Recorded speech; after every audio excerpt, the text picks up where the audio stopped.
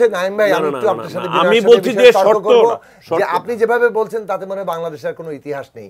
যেন না, ছিয়ানব্বই না, সালে আগের ইতিহাসের আওয়ামী লীগ কোনো নির্বাচন বয়কট করে। আরে আওয়ামী লীগ নির্বাচন বয়কট করে তাদের তারা এটাকে জয় লাভের ব্যবস্থা হ্যাঁ, করছে। সেটা যদি আপনারা করতে আর কেউ অসুবিধা জয়লাভের ব্যবস্থা করতে পারবে না করতে পারেন নাই তো। পারবে না তার মানে সামনে। না, সামনে তো নেই। তাহলে রাজপথের অবস্থাটা কি দাঁড়াবে? আপনার কি ধারণা? মানে বিএনপি বা বিএনপি নেতৃত্বে যেই আন্দোলনটা চলছে সেই আন্দোলনটার ভবিষ্যৎ কি হবে? আগামী এক বছর আমি অনেস্টলি বলি বিএনপি যদি সাধারণ দায়িত্ববোধ থাকে তার স্থানীয় নেতাকর্মীদের উপর তাইলে তার একমাত্র দায়িত্ব হবে তাদের নেতাকর্মীদেরকে ধাপে ধাপে আইনি প্রক্রিয়ার ভেতর দিয়ে কারামুক্ত করা।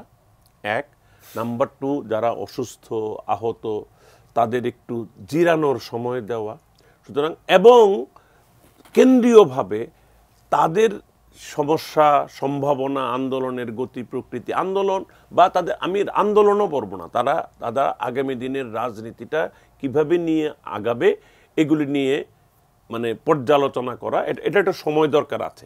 এখন এই সময়টা যখন তারা কাটাবে তখন নিশ্চয়ই নানান কিছু অ্যাক্টিভিটি থাকবে কিন্তু এটাকে আমি আন্দোলন হিসেবে ফোর্সই করি না।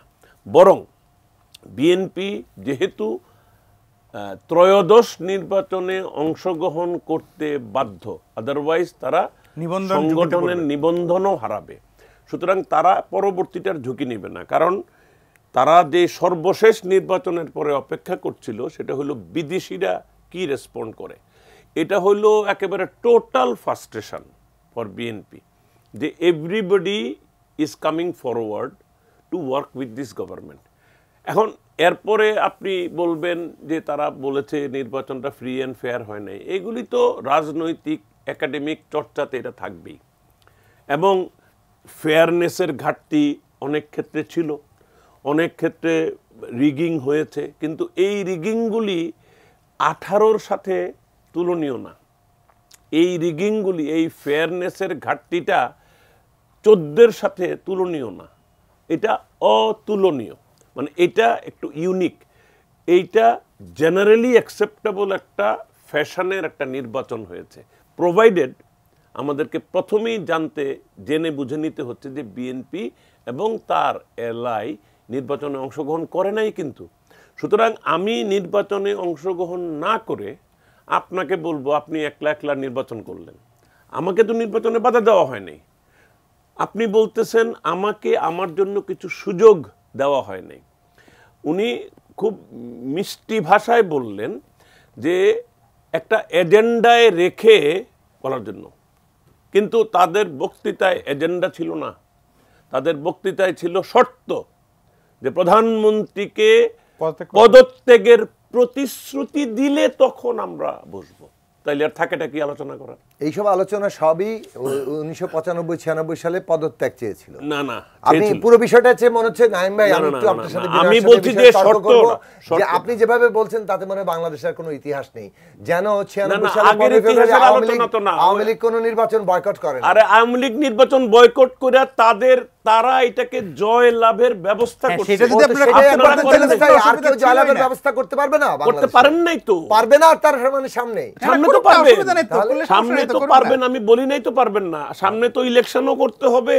আন্দোলনও করতে হবে সরকারও উৎখাত হয়ে যেতে পারে আপনি হিসেবে পারে। সরকার উৎখাত তো শেখ হাসিনাই বলছে আমেরিকানরা চাইলে এখনও আমেরিকানরা। বাংলাদেশের পাবলিক উৎখাত করবে। আরে করবে কেন? আমেরিকানরা কোথায় উৎখাত করেছে? একটা পথ কারণ তাহলে তো কোনোটাই উৎখাত হয় না জনগণ দ্বারা। আওয়ামী লীগ নিয়েন না, কিন্তু সালে BNP আওয়ামী লীগের সাফল্য নিশ্চিতভাবে বিদেশিদের চাপ আমি- দুই হাজার ছয় আমি সালে আওয়ামী লীগের সাফল্য চাপ। আপনার প্রতি একটা সমীহ রেখে একটি কথাও আপনাকে উদ্দেশ্য করে বলছি না।